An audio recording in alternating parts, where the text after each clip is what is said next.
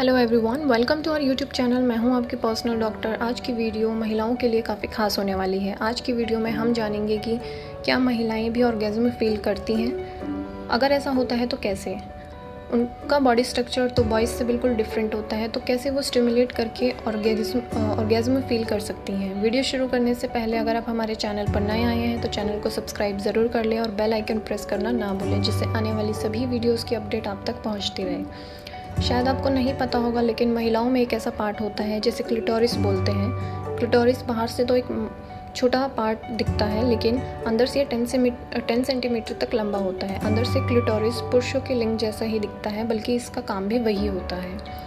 ठीक पुरुषों की तरह महिलाएँ भी जैकुलेट करती हैं। महिलाएँ भी बिना पेनिट्रेशन किए ऑर्गेनिज्म ऑर्गेज्म तक पहुँच सकती हैं, क्योंकि ऑर्गेज्म क्लिटोरिस से होता है, ना कि वजाइना से। अब बात करते हैं गूगल पर। सबसे ज़्यादा सर्च किए जाने वाले वर्ड में से एक जी स्पॉट के बारे में। इतना सर्च करने के बाद भी ये किसी को नहीं मिला। अगर आप भी जानना चाहते हैं कि ये जी स्पॉट कहाँ होता है तो आज हम आपको बताएँगे। असल में जी स्पॉट जैसी कोई चीज़ ही नहीं है। एटीज़ में एक डॉक्टर डॉक्टर हुआ करते थे ए एन एस ग्रेफिनबर्ग इन्होंने वजाइना के अंदर एक जोन की खोज की और अपने नाम पर इसका नाम रख दिया।